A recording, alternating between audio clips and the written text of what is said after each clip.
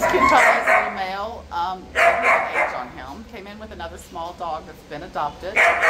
Um, they came in on 910. Looks a little unsure of himself, I must say.